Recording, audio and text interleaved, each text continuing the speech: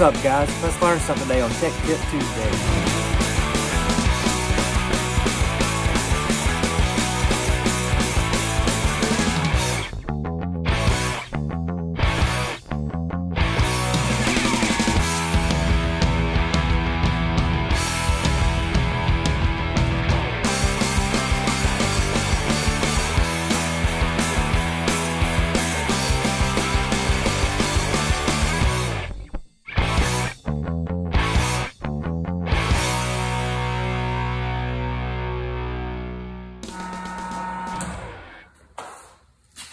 What's up guys?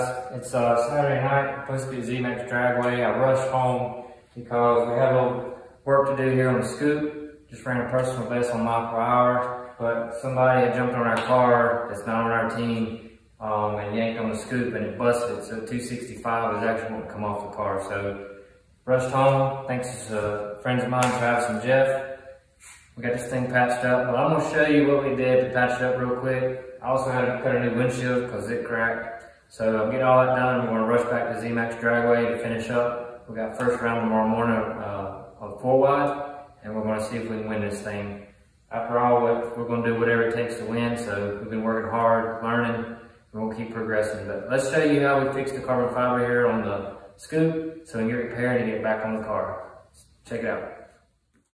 All right, guys, so here's the scoop. This is actually before it got worse. This is when they jumped on the car and, and pulled it. Uh, don't don't really know why. We questioned them about it. But anyway, when we hit the higher mile per hour, went 20 mile an hour faster, and that just destroyed it. So we come home, and we just began laying down some carbon fiber. Here we're laying on the resin. So after you mix this resin up, you want to press it down in this material really well. So this is carbon, and we're just trying to get the resin to really permeate through it. Um, I'll actually flip it over and permeate it through the other side so this is completely full of this resin. Now this resin is a two-part resin, much like fiberglass, and it takes, um, you know, two parts. You got your resin and you got your hardener. Um, be sure and check with whatever the manufacturer is, because I've had resins that mixed 100 parts of resin to just one part of hardener, and then this actually mixed two to one. So um, there's you have to make sure you're mixing stuff to the manufacturer's specifications. And here Jeff's helping me. He's brushing on the resin onto the carbon that I've already ground down. I used some 60 grit and roughed it up. The tape line here is just to keep us from spreading and getting the resin all over the rest of the scoop. Just to help control that. So he's just getting it wet for me so that when I lay this other sheet on there, it'll, it'll adhere really well. And again, we've got this completely permeated with resin, and then we'll just begin to lay the carbon here on the scoop and just we're just going to go around the whole base and just try to really um, repair this damage. Um, I'm doing two layers so it'll take a little bit of time but again we're just going to lay it on here take our time and at the same time we're trying to hurry up because I have to be back at the racetrack.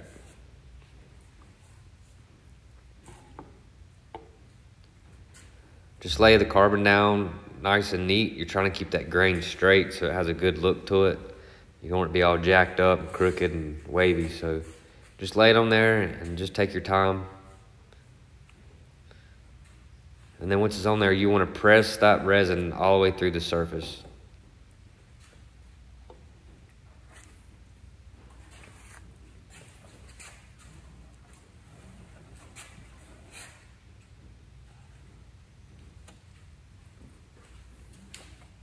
So you see here, I'm pressing it tight. The smoother you get, the better off you're going to be.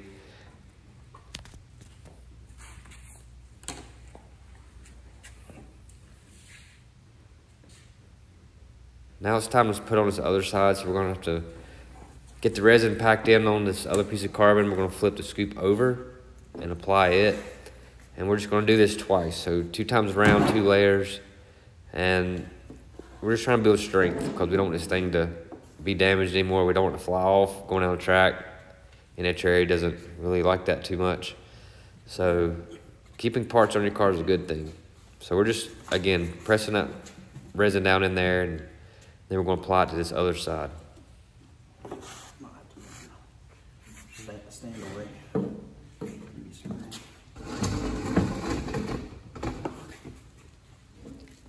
Now if you see I've just got laying on a piece of Luan wood.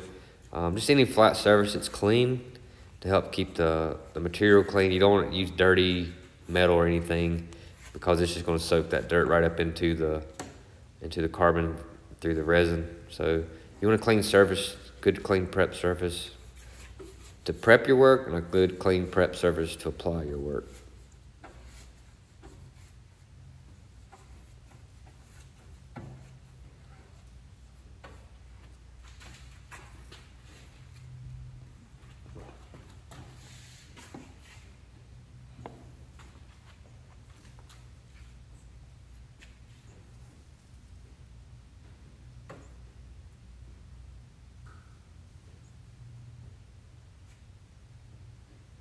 So here I'm trying to make sure I get my overlap on the front, just overlap the other side or the material we laid earlier, just to get it overlapped a little bit, gives it more strength.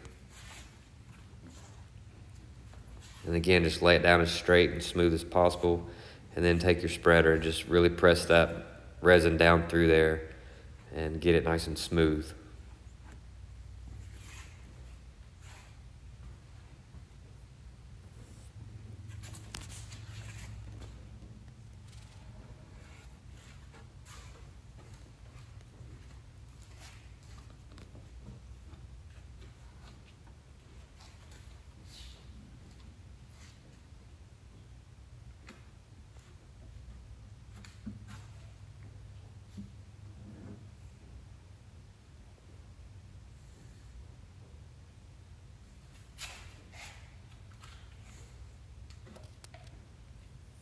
What I'm trying to do here is a couple little air bubbles, just trying to get those pressed out.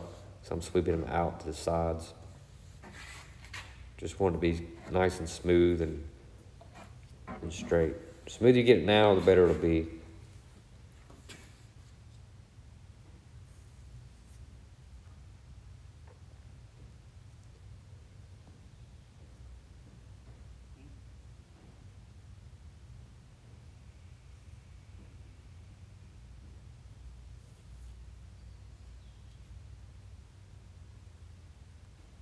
So if you got your layers on, you know, we put two layers on, we've staggered our sizes.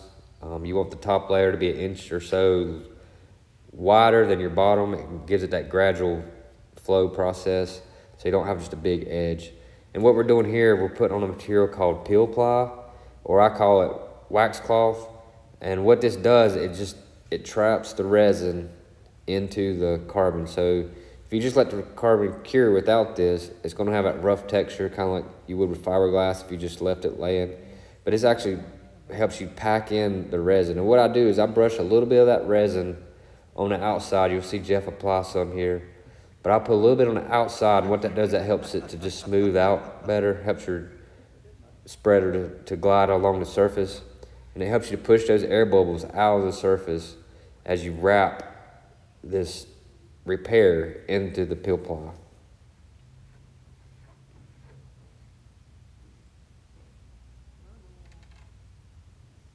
You can see inside the scoop there where I, I braced it with some angle. That's just to keep everything straight. I was trying to tie where it was cracked back together. Um, it's just got some pop rivets in it, so when we're done, I actually use the holes that were used for the mounts for the scoop. We'll just drill these pop rivets out, and then I, we'll know our scoop is will fit the manifold like we had it before. Just take your time on the peel ply. Just, you know, you want to make sure you get these air bubbles out. Um, if you do have an air bubble, it's going to have like a, a rough spot in your carbon, and that's not what you're looking for. Again, we're kind of rushing on this, but we still want to look halfway decent um, going down the track and being in the pits and stuff. I had an air bubble trapped in there, so I just peeled it back and pushed it out. And this is just coming around the back side. And what I've done, I've turned the scoop up on the stand and propped it up. So it's a little easier to manage for me.